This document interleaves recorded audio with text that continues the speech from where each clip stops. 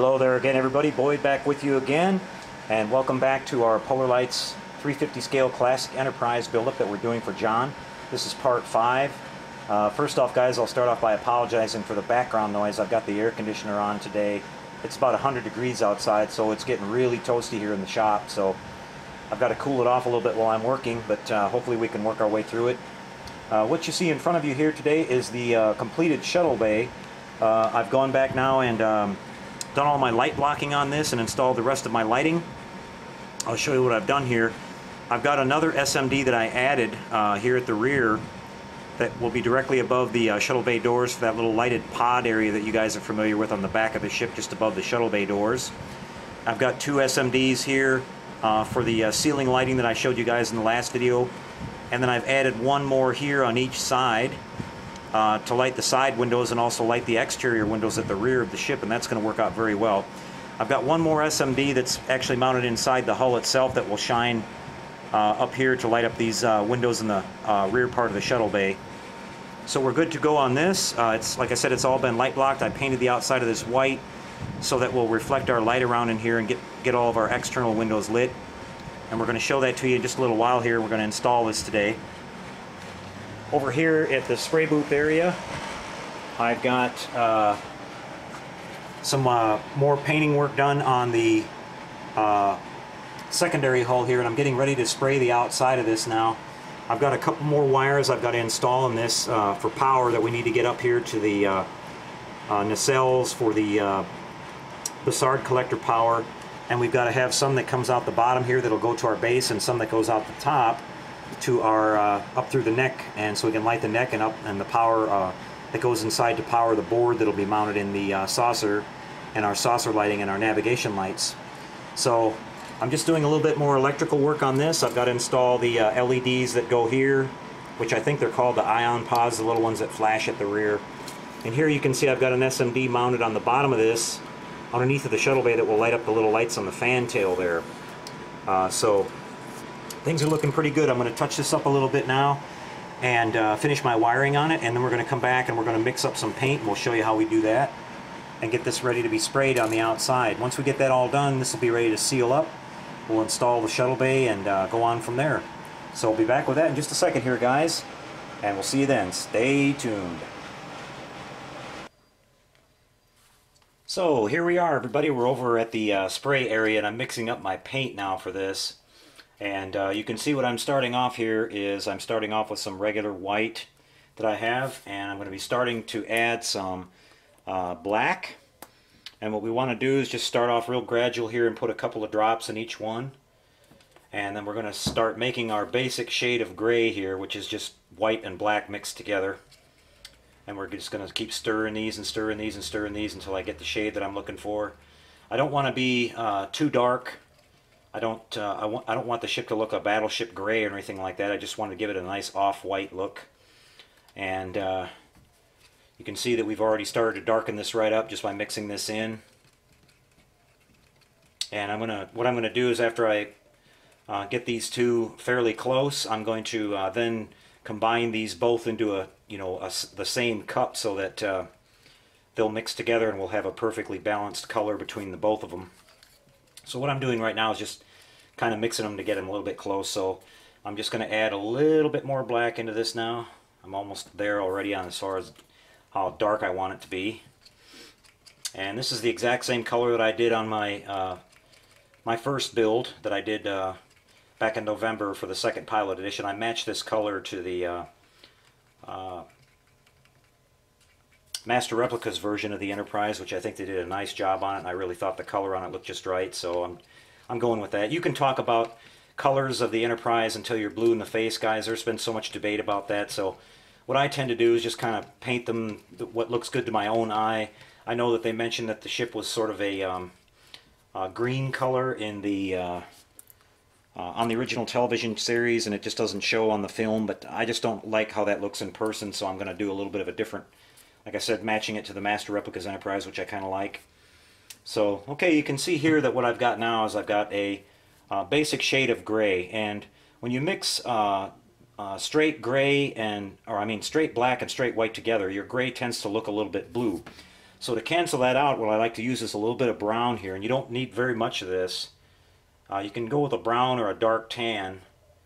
And what that's going to do is give this more of an earth tone kind of a color, kind of a slate gray instead of a uh, that bluish gray look that I don't really care for. Uh, and you can see it's starting to change it already. Uh, it's coming around a little bit, and you just want to, again, with your paint, you just want to add a little bit at a time, guys. You don't want to go overboard because if you go too far on this, you'll ruin this batch of paint and you won't be able to get it back. So just go a little bit at a time and be patient. Like I said, you can see here I'm just putting a couple of drops of this stuff at a time in. And uh, we're going to start bringing it around here.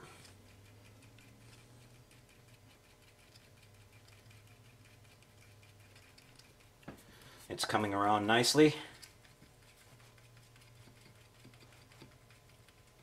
As you can see, it definitely took that um, it took that blue edge off of it to where it's it's not the blue looking gray anymore, and it gave it a much more kind of an earth tone, like I said, gray. And uh, that's what we're going to go with, guys. I really like this shade right here. That's basically it. So what I'll do now is I've got uh, another cup here, and I'll be pouring both of those into that cup so that we get a mixture and I should wind up with two full cups of this when I'm done plus I'll get a little bit more when I reduce it and the reduction on this guys is, is about three to four to one so you're going to get a lot more volume and I, like I said I want to um,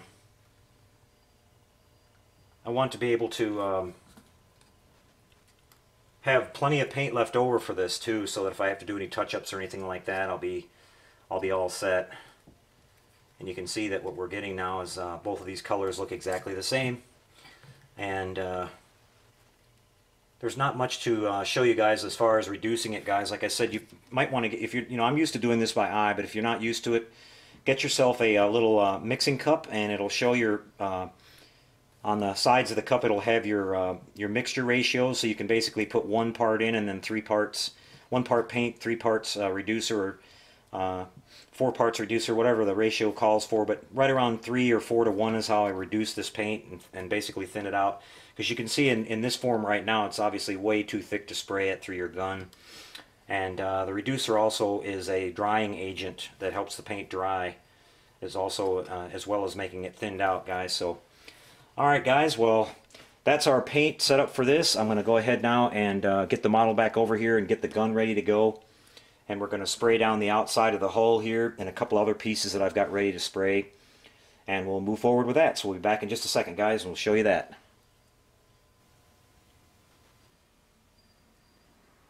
Well hey there again everybody. We're back now. As you can see we made it out of the spray booth. No issues to report. Everything went down really good. We've got our primary color now sprayed on the uh, secondary hull here and you can see it turned out baby smooth that's our Cosmic Colors paint working for us guys it's really good stuff and uh, you can see we've got our deflector housing there in the bottom mount piece there painted. Now I haven't glued the uh, secondary hull together yet because uh, that uh, deflector housing part has to be installed in one half before you put it together. It's really really hard to cram it in there. I found that out on the first model that I did back in November. Uh, but uh, so we'll get that put in. I just wanted to walk you around it here. You can see I've started to put some of my window inserts in. I've got the blacked out ones there at the center of the secondary hull like it has on the regular production version of the ship. And you can see I've put my window grouping in here at the back. We've got, I'm happy to report we've got light coming through there this time, guys. The windows are actually lit up. Now, the one at the very rear isn't because that's actually done in green like it was, again, on the production ship. But I'll swing around here on the other side, and you can see we've got light coming through these as well. So I'm really happy with that. And that's with the shuttle bay in there and everything all sealed up. Now, you can see uh, the shuttle bay looks really nice now, too. Uh, I've got this running at 12 volts now. Uh, it was only running at 9 before, so it looked a little yellow and a little dim in the last video, but doesn't that uh, lighting in there look really nice and bright, and you can see every little detail in there. I'm really happy with that, and uh, it just turned out perfect. You can see the light coming out of the shuttle there, the door, and uh, so the windows in the back are lighting up nice and brightly. It really looks beautiful, so I'm really happy with that, and uh, things are going great here, guys. Um, what I'll be doing now, I don't have the, uh, the strobe lights uh, put in here at the bottom yet. Uh, that's these uh, little guys right here that uh, come with the kit. Now there's these little brackets or these little inserts the, that need to go in there and I'll put those in. We'll light block this area around here so that this light when it flashes won't be uh, lighting up the windows inside the model and giving an interference. So all that's going to get done tomorrow. We're going to move on with more work on the secondary hull. It's just gotten way too hot out here in the shop today to work anymore. It's about 105 degrees outside right now, and it's about 90 something in here, so and very very humid. So I'll be back again tomorrow, guys, with some more on this, and we'll get farther along on the secondary hull. But you can see it's really really coming out nice, nice and clean, and I think you're really going to like it, John. I'm really happy it's going along perfectly so far. So uh, just before I close here, guys, I wanted to mention uh, James, if you're watching this video, uh, your wife uh, wrote me a really nice uh, message on my uh, YouTube account and asked me to say a shout out to you, a nice happy birthday. And she says that you really enjoy watching the videos and you're building models yourself. So I'm really happy to hear that, James. And have a nice birthday. And it's glad that your I'm glad to hear your wife supports you in your in your model building hobby.